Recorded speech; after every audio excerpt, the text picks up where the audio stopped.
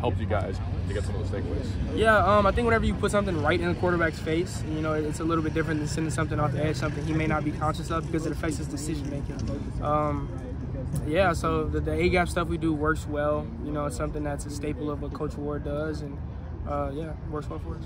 What about just this week transition to Washington State? What do you feel like uh, they do well with uh, with Ward back there? Uh, yeah, Cam, he's, he's a really good quarterback. You know, he's just smart. Uh, they have a lot of familiarity with our defense because it's basically the same thing that they run. Um, you know, he's a guy who is slippery, who can get out the pocket and make those plays, but ultimately he wants to get his feet set and throw the ball. Um, so he poses a great threat, really, in both areas. Uh, they have such a scrappy team. You know, they just play really, really hard. They block. Uh, their running backs are physical guys. They're just they're a good football team. You know, like we saw last year when we played them. Uh, so ultimately, it's about executing the plan, the call that coach calls, and you know, winning your one-on-one and doing the same thing you did against your They kind of lack a, little bit of rushing attack, like Washington this past week. So how do you guys kind of plan to call on that experience and kind of maybe not obviously use the same game plan, but have a little bit of the same approach or think of it the same way? I mean, for me, I don't really think of it that way. A few years ago, we played them on homecoming, and they had like no run game at all. Yeah. And they came out here and rushed the ball for like 300 yards. So you gotta you gotta play what you gotta play what they run that day. Um, ultimately, yeah, you know their run game hasn't been the strength of their team, but I played their running back uh, last year. He's an incredibly capable back. Um, their O line is capable. So uh, if they see something that they can gash us in, they will. Uh, so we just got to be stout in the run. Guys like Deshaun and, and BJ and those guys inside who always do stop the run will. Um, and then you know we got to hold up in coverage as well those past experiences from last season, even the year before that, yeah. how are you guys kind of calling those, especially for someone like yourself who's been here for that long? Yeah, I mean, just expect expect the unexpected. You know what I'm saying? You really never know what a guy's going to give you. Um, I'm a big film study person, um, so I try to, you know, have a good idea of what I go out there and get. But the first drive, you're just playing what they give you to kind of learn the tips and tendencies for the day. Uh, so, yeah, man, you know, you call on past experience, kind of just to expect the unexpected, but you really never know. Appreciate Yeah, no problem. Thank you. Thank you. All right, Jordan. Uh, you were kind of touching on Washington State already, but just give me kind of a reflection of Washington really quick and what that experience was like, and yeah. um, especially just coming back to Tempe.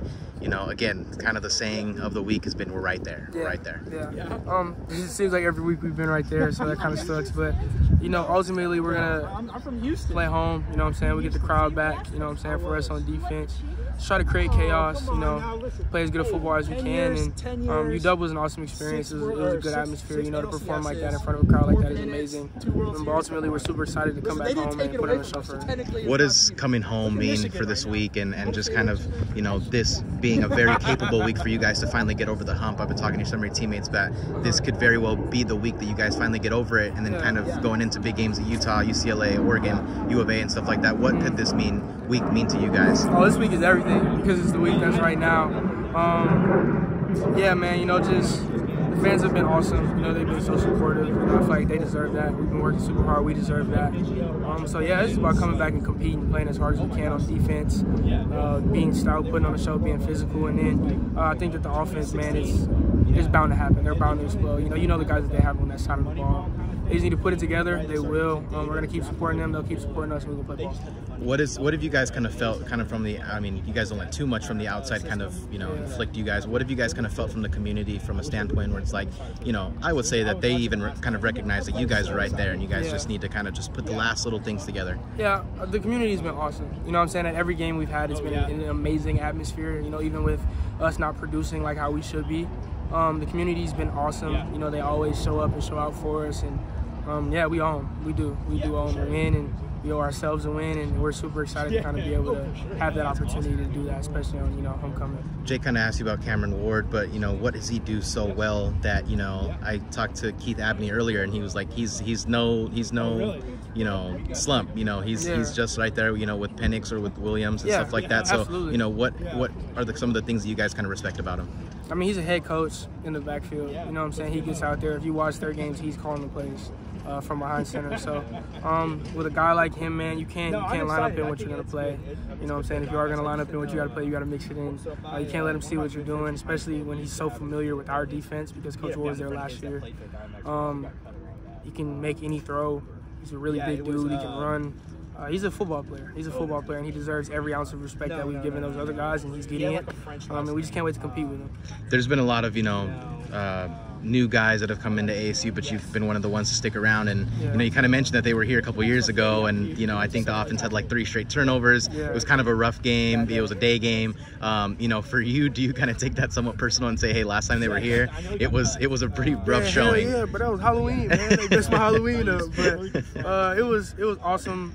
Uh, you know what I'm saying? Kind of for me to have those experiences. You know, then it sucked, but now you know just knowing that to expect unexpected. You know, anything can happen. You gotta be ready for certain situations. You gotta be ready for our offense to come out and do something that you're not prepared for them to do.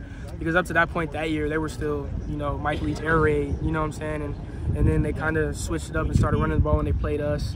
Uh, whenever the interim head coach had took over, so expect the unexpected. You know, be ready to play ball. Don't ever, ever take anybody lightly, which we won't. We're not in the situation of you know predicament too, and we're just ready to compete, compete with them. What are the conversations like amongst the defensive backs that you guys, you know, held Roma Odunze under 100 yards? You know, you really limited that Husky offense, and now you guys, you know, have the right tools to really, you know, limit a not maybe as good Washington State offense, but you know, you, but very capable of absolutely. Yeah. Um, we give everybody the same amount of respect. You know, obviously Odunze was a good receiver, but we prepare for Southern Utah the same way we prepare for him. You know what I'm saying? Everybody's the same. Uh, so really this week, man, it's about giving these guys the respect they deserve. They're on scholarship as well.